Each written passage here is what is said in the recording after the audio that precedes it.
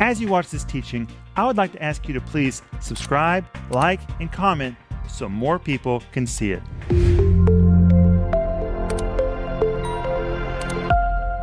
Welcome to Home Group. We're going to have a good time tonight. We're continuing to talk about the Christmas story, and I'm going to warn you right up front. Tonight, we're going to talk about a lot of history because we're going to talk about who was, are you ready? Herod the Great. Herod, Who was Herod the Great? Herod the Great. What did he do? was he really great? Why was he great? When did he become called great? What do we know about Herod the Great. Great? And in the introduction to today's TV program, I'm standing in what's called the Herodian. Joel, did you ever go to the Herodian with us? I'm sure I've been to some of those rocky places. I've only, no, I don't think you've ever been to Herodian. Maxime, Herodian is an amazing place, isn't it? Shocking. It is the place that Herod built for his tomb. Now, it is quite a tomb because you can see it all the way from the city of Jerusalem. It looks like a mountain and it's not natural. He built it, there was nothing there. It was flat as could be, and he constructed an entire mountain. And then he built on the top this enormous, colossal structure. Near there, there was a little village of everybody that was supposed to take care of the tomb, and that's where Herod was built. And Herod did everything colossal. Herodian. He did everything huge. He was Herod the Great. And today we're going to be looking at Herod. It's really going to be a lot of fun. There are some things I cannot tell you about Herod because some of it is simply disgusting. He was really great in many ways. He was great in terms of his building projects. He was great in terms of his temper. He was great in terms of his ego. He was great in terms of his wickedness, and some of it was really, really vile. But tonight we're going to be looking at Herod. And of course, the name of our series that we're offering you right now is called Christmas, the rest of the story. And this is a sample of what you're not going to find in the Bible. It's based on the Bible, but the Bible doesn't give you all these details about Herod. But what we're going to give you tonight will really help you understand the environment into which Jesus was born. You really need to understand this. And Herod had a bunch of boys, and his boys were just as crazy as he was. And one of them was Herod Antipas, who actually examined Jesus before Jesus' own crucifixion. So this Herod family had an impact for a long, long time. Even after Herod the Great was dead, the land was divided up between his sons, that is, his sons that he did not kill. And uh, it's quite a story. But anyway, you need to get the download Christmas, the rest of the story, and it is free. 124 page study guide. I put so much into this. Please get it. Please. Just go to renner.org right now, download it. And as we told you in our earlier home group this week, you need to sit around with your family and talk about the Christmas story this year. Don't just overeat and open presents and think about how much money you spent that you shouldn't put on your credit cards. Do something positive. Have fun with your family, laugh a lot, reach out to somebody that needs to be touched that may be alone, and share the Bible study with your family. And the study guide will help you. Amen. Amen. And there's a whole series that goes with it. And the first of every one of these 15 parts is in one of those locations, just like today. It's in the Herodian outside of Jerusalem. I'm telling you, the Herodian is an amazing place. Wow. But when you say Herod the Great, you don't mean he's a great guy. No, I don't mean he was a great guy. you mean guy. he did exaggerated things. Just huge, colossal, exaggerated kind of personality. You know, there's only been a few characters called great during their life. Most people are memorialized as being great after they're dead, but a few were called great in life.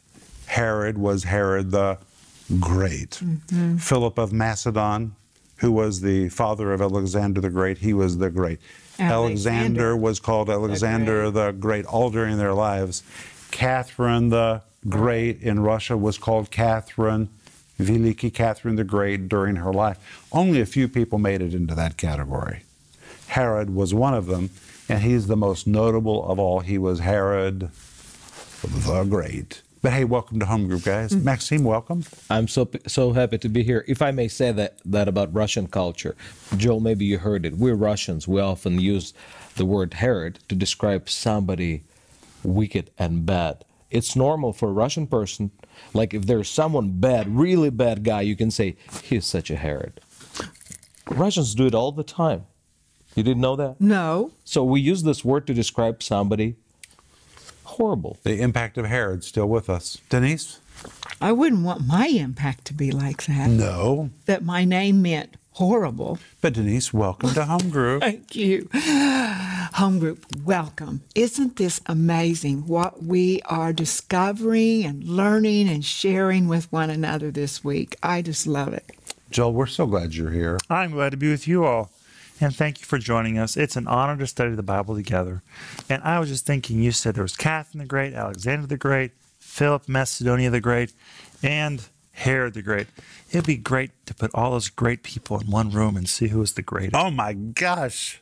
I think Herod the Great would just dominate everybody in the room. Well, I think we're going to hear why tonight. But anyway, also, if you're thinking about what to buy somebody for Christmas, it's not too late. It's going to be too late pretty quick because Christmas is almost here. If you act now, you have time to get this gift. But you need to order Sparkling Gems, and there's volume one and there's volume two. I'm really not trying to sell you these books because people buy these books nonstop. I just believe you need these. I really believe that. Or somebody that you know needs these. Everybody wants to start the new year with a new commitment. Last night, we talked about presenting our minds to the Lord. Mm-hmm. And one really good thing is for you to present your mind to the Lord that you're going to read your Bible every day during the next year and you're going to do something to develop your spiritual life. Well, that's what these books do. And in each one of these, there's a thousand Greek word studies, but it's written in such a simple way anybody can understand it. And the intention is not to teach you Greek, it's to bring you gems from the Bible that will just make you want to say amen, just make you fall in love with the Bible. And if you know how to read the Bible and study the Bible, here's the way to get going. This will really help you. Amen. Amen. Amen. Amen. Well, guys, we're going to have a good time tonight. Are you ready to talk about Herod? I'm ready to. Ready. All right, let's go. Herod the Great. And so far, we have looked at the Christmas story from Luke chapter 2. But starting tonight, we're going to go to Matthew chapter 2.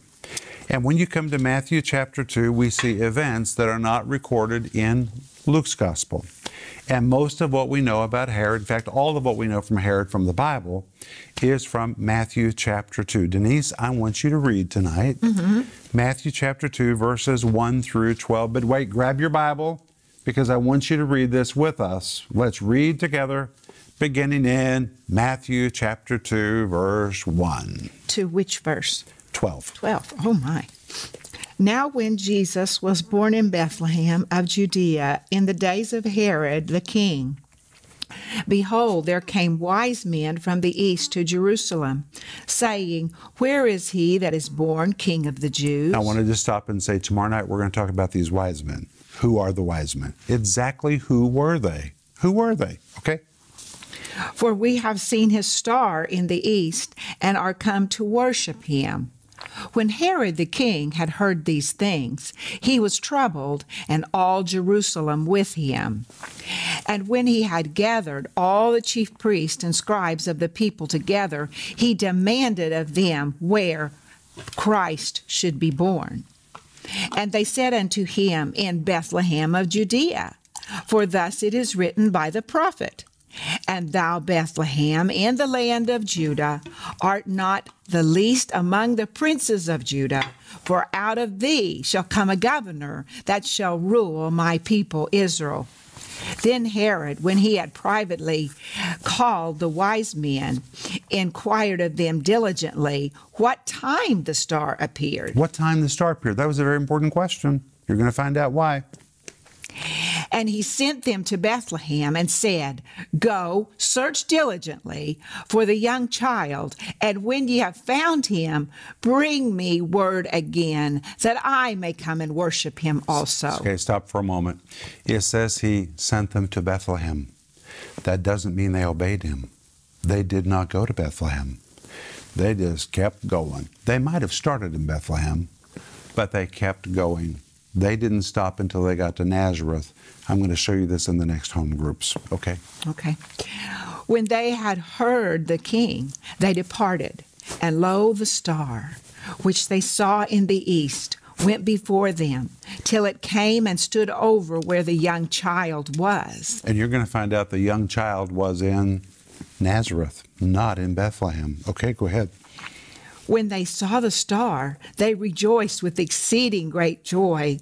And when they were come into the house, they saw the Wait, yo- come into the what? house House. When they were in Bethlehem, where were they? cave. Cave. They were in a cave. They're already back home in Nazareth in their house. Okay?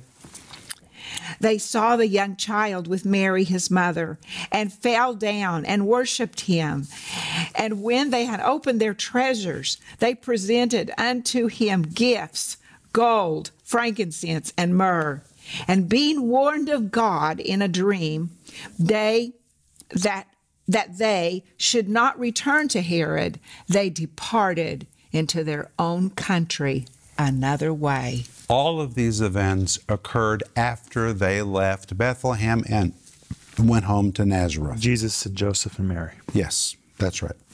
So all of these events occur after they've got back home to Nazareth, two years after the birth of Jesus. I'm going to prove this to you.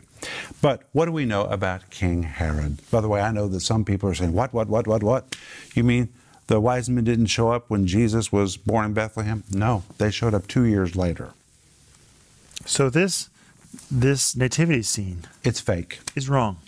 No, here, here's the problem. Greeting card companies, they make these beautiful greeting cards that I love. I think they're beautiful. But they want to tell the whole story on the front of a greeting card. So on the front of the greeting card, they put the wise men, hmm. the shepherds, the star, the angels, the animals, the Holy Family, all in one setting. Mm-hmm. There's two years between these events. Mm. Wise men showed up two years later. They were not there when Jesus was born. Hmm. Now, people think they were because it says he sent them to Bethlehem. It never says they went to Bethlehem. That's where he sent them. That's not where they went. Now, Rick, in every spectacular you and I've been to, What is a spectacular, uh, Denise? you know, big production. Okay, let me help you. Oh. Denise just did something very Russian. I did. A drama in Russian is called a spectacular. Oh. so she means dramatic production. Okay. They always have the wise men. They always have the wise men. Well, they just don't know how else to tell the story, and most people don't even know the story. They, you need to know the rest of the story. People get these events all confused, they jumble them all together. And uh, they were separate events. But what do we know about Herod the Great? Okay, here we go. You ready? They tell us. All right. Are you going to be my students tonight? oh yes. We're students. Okay, I have to refer to my notes because I have a lot. That are in the study guide. They're all it's all in the study guide, which is free. Please go get the study guide. Renner.org, it's free. Herod was born in 72 BC. Hmm. Nearly seven decades before the birth of Jesus. He was known as Herod the Great. He lived to be quite an old man for people at that time. Hmm. And through a series of events, he became the king of Judah. It was really a very long series of events. He was a manipulator from the very beginning. He manipulated his way into power. He found favor with Rome because he played tricks and was willing to curry favor with Rome to get his position. And he ruled the region for three decades. That already tells you something. Because to rule that region of the world for three decades, you had to be pretty fierce. Because kings and governors were regularly overthrown, but not Herod. Nobody could topple him. Three decades he ruled with an iron hand. And he knew how to play games with Rome. He knew how to appease Rome in order to keep them happy, and so he could keep his position. But there are some fun things that we know about Herod. For example, Herod was a very dear friend of Cleopatra. Well, Cleopatra died just about 30 years before the birth of Jesus. Hmm. People don't put Cleopatra in the same time frame with Jesus. So Herod was in his 40s when Cleopatra died. Yeah. But think about that. Jesus, Cleopatra, it's all the same time period. You know, most people think about Cleopatra and how she died at the bite of a snake, which we don't even know if that's the truth. But who would put Cleopatra in the same time frame with Jesus? But Herod and Cleopatra were very dear friends. In fact, some people allege that at some point he was romantically involved with Cleopatra. And you know what? It's very possible because Cleopatra, to maintain her power, she had sexual flings with people all over that were kings in order to curry favor with all of her neighbors. So she was quite a promiscuous individual. But she fell in love with Mark Antony. And Cleopatra and Mark Antony had quite a legendary romantic relationship. Mark Antony was such a dear friend of Herod that when Herod began to reconstruct the central part of Jerusalem and he rebuilt the temple, in the corner of the temple he built the Tower of Antonia, which is named after Mark Antony, who was the boyfriend of Cleopatra. Isn't that amazing? Mm. And so now we see that they were all living in the same time frame. Next, Herod was totally in control of Jewish leaders. He was afraid of them. So when Herod became the king, one of his very first acts, are you ready for this? Was to slaughter the entire Sanhedrin in the city of Jerusalem. He killed every one of them. You say, well, then how did they have a Sanhedrin if he killed them all? Because he handpicked every member of the new Sanhedrin. So it became like a rigged court. It was entirely in Herod's hands. Then he removed the high priest and he chose his own high priest. And from the time of Herod the Great through the time of Jesus, the Sanhedrin and the high priest were not legitimate leaders. They were puppets and pawns in Herod's hands. They were his religious mafia that carried out his commands and ruled in the religious affairs in the city of Jerusalem. So when you read about Caiaphas yeah. and Annas, they were not legitimate. These were people that had been installed by Herod. So they weren't religious people? Well, they were religious people, but they weren't the ones that were supposed to have those positions. Like he removed the real ones. He killed the Sanhedrin. He appointed his own Sanhedrin. He had no right to do that. He removed the high priest, put in his own high priest, who was Annas, and then it was such a mafia operation, the high priest family. Annas gave his position to his son in law, Caiaphas. And when you come to the book of Acts, by the time you come to the book of Acts, Caiaphas is the high priest, but it talks about Annas and Caiaphas together. The two of them are in cahoots together. Even though Annas is supposed to be out of the picture, he really is the power behind Caiaphas I'm telling you, it's a mafia religious organization.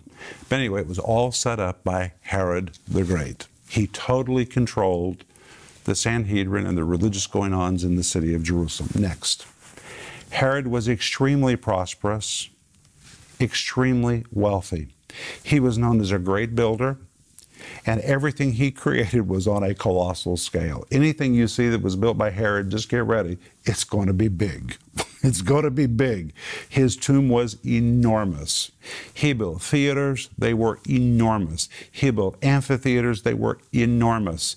He built Caesarea, the hippodrome there, it is enormous. He built his legendary palace. He built the Herodian, which I talked to you about already.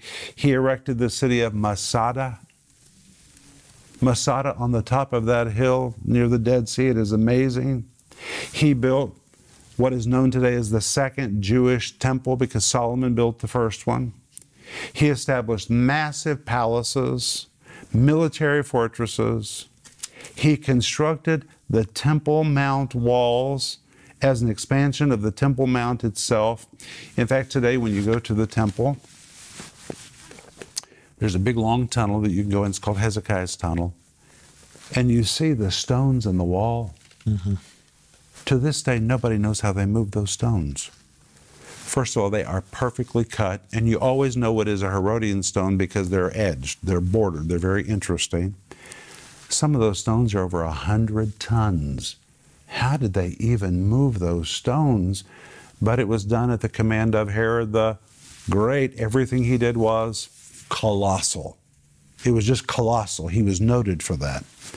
And today, when people go to Israel and they want to go see all the sites, most of the sites that they, people want to go see are the sites that were constructed by Herod the Great. It's all still there. Isn't that amazing?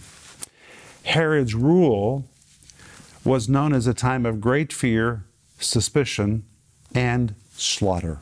He killed a lot of people.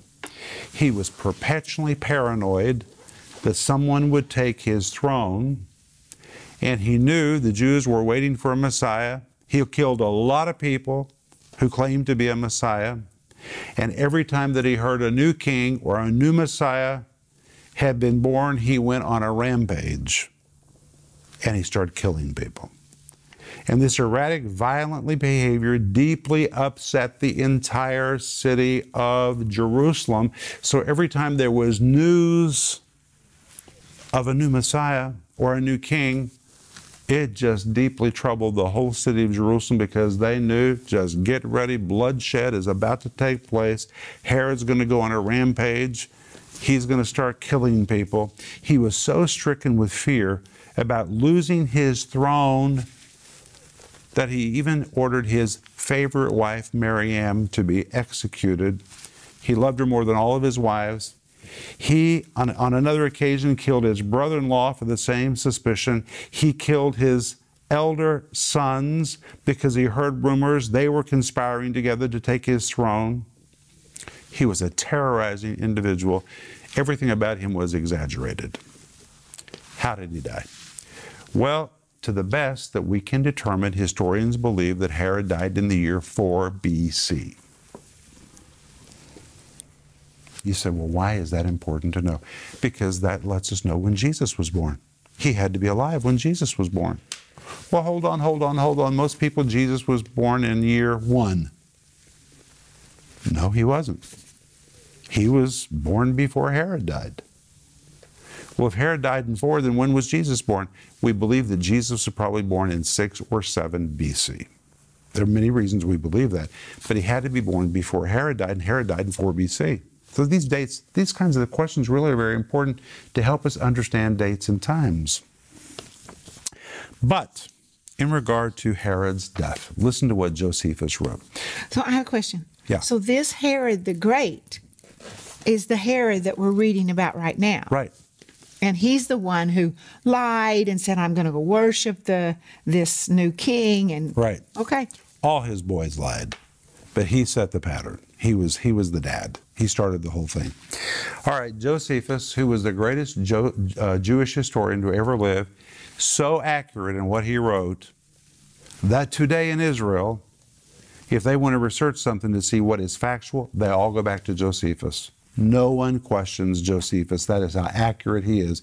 Even scholars today, they all go back to Josephus.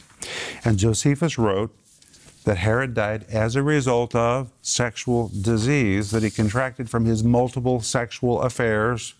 He was extremely promiscuous, sleeping with an unimaginable number of people. And Josephus wrote, this is word for word, that he was a slave to his passions, a slave to it. And the death he died was absolutely miserable. He was consumed by worms as a result of this sexual sin.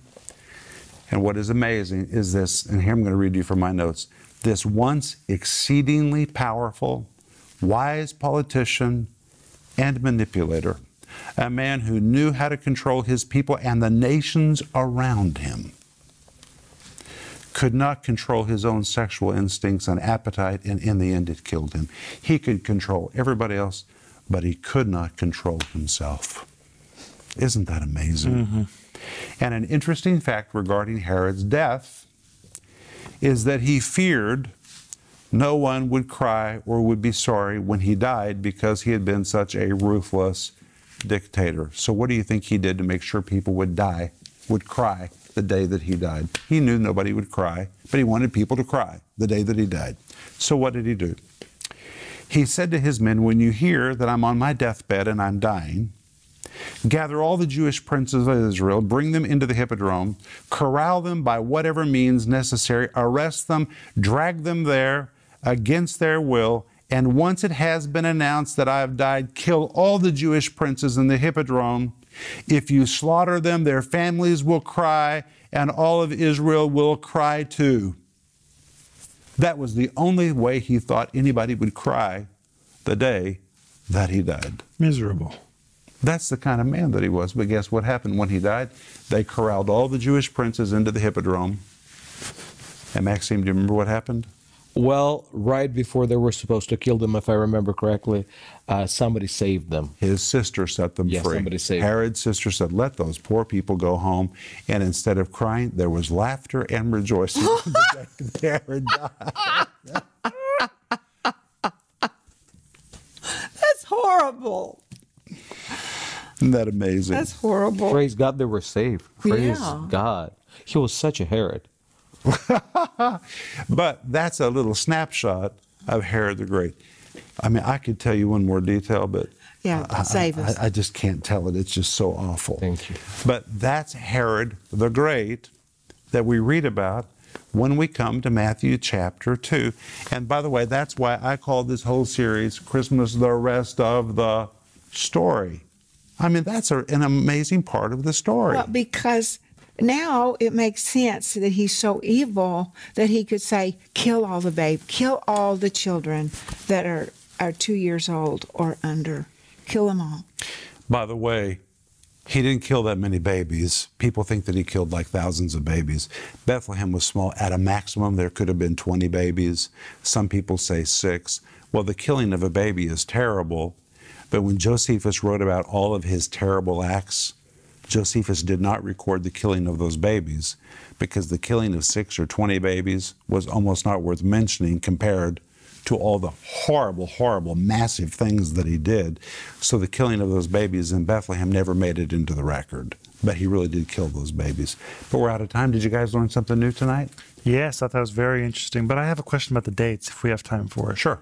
You said Herod died at 4 BC, but Jesus was born after his death. No, Jesus was born before his death. You said Jesus was born at 6. That's because you got to count backward. Ah, You got to count backward. Minus four, minus. It's minus four. It, it counts backward. I see. Good question, Mr. Renner. Glad you asked that question. But when we come back tomorrow night in home group, we're going to see who are the Magi because the Magi came into town. The Bible says when Herod was king. There's a reason the Bible is telling us this was going to really upset Herod. That these Magi have come from the east saying, Where is he born king of the Jews? And all Jerusalem was troubled about this because they knew Herod was about to go on a rampage. A lot of people were about to die. It upset the whole city. It's going to be awesome tomorrow night. See you. Sleep well. We're looking forward to tomorrow night. Bye bye. Hmm. If that teaching helped you, would you please subscribe, like, and comment so more people can see it?